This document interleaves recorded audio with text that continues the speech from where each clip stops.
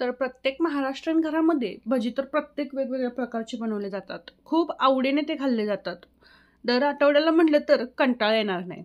तर आपण कांदा भजी असेल पालक भजी असेल किंवा अजून कोणतेही भजी असतील तर ते खातोच. हे कॉमन पण तुम्ही ओव्याच्या पानांची भजी कधी खाल्ली आहेत का? ओवा तर आपण नक्कीच खातो. प्रत्येक पदार्थांमध्ये बेसनच्या डायजेशनसाठी पण त्याच्या पानांची भजी अगदी सोप्या पद्धतीने दाखवलेली आहेत. नक्की ट्राय करा. एकदा रेसिपी बघितली तर तुम्ही बनवून खाल इतकी गॅरंटी देते. तर या ठिकाणी बघू शकता ओव्याची पानं आणलेली आहेत. त्याला स्वच्छ धुवून घेतलेली आहेत. ही अशा पद्धतीची ओव्याची पानं असतात. खूप छान याचे भजी तयार होतात. नक्की ट्राय करा. तर या ठिकाणी एक मोठा बाऊल घेतलेला आहे. त्यामध्ये तीन ते चार चमचे इतकं बेसन घालणार आहोत. तुम्ही तुमच्या गरजेनुसार बेसन घालू शकता. पानं किती आहेत त्या हिशोबाने. व त्याला छान कुरकुरीतपणा येण्यासाठी आपण तांदळाचं पीठ देखील घालणार आहोत. यामध्ये तुम्ही रवा देखील घालू शकता. तांदळाचं पीठ नसेल तर. आणि थोडासा ओवा. ओवा देखील घाला. आणि थोडीशी हळद. हळद घातल्यामुळे याला कलर खूप छान येईल आणि हळद ही आयुर्वेदिक असते. आणि बारीक चिरलेली कोथिंबीर. कोथिंबीर ही पूर्णपणे ऑप्शनल आहे. तर हे व्यवस्थित मिक्स करून घ्यायचं. आणि चवीनुसार मीठ.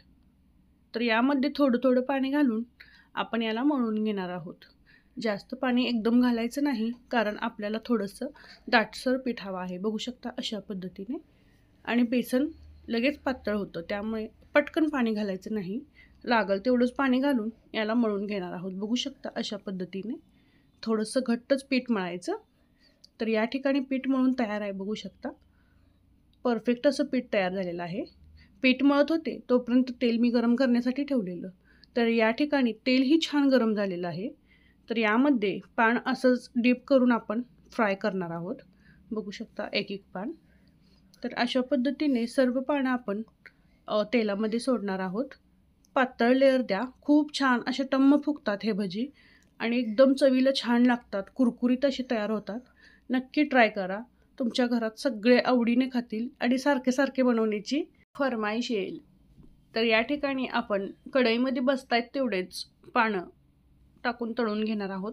बघू शकता थोडंसं भाजलं की याला अलटीपलटी करून छान असं गोल्डन ब्राऊन होईपर्यंत भाजून घ्यायचं. खूप छान आणि क्रिस्पी आणि एकदम छान अशी याची हेल्दी भजी म्हणू शकता आपण. हेल्दी तर म्हणणार नाही तळते त्यामुळे. पण ओव्याची पानं आहेत त्यामुळे पोट साफ वगैरे व्यवस्थित होतं या भजीने.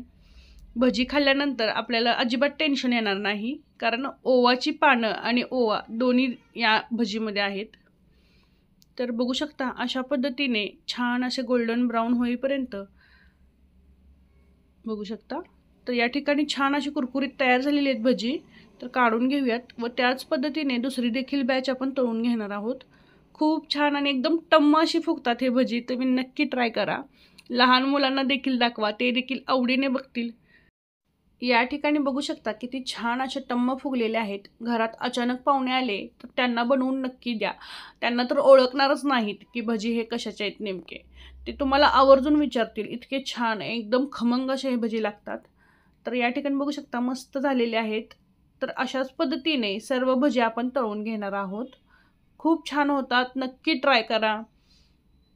तर या ठिकाणी सर्व भजी तळून तयार आहेत. बघू शकता. छान असे क्रिस्पी झालेले आहेत टम्म फुगलेले आहेत.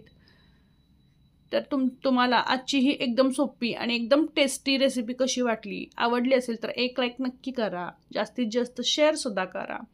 आणि अशाच नवीन आणि सोप्या रेसिपी बघण्यासाठी सुप्रियाज रेसिपीला नक्की सबस्क्राईब करा.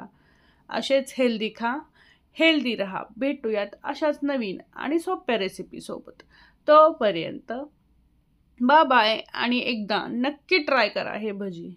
तुम्हाला देखील आवडतील.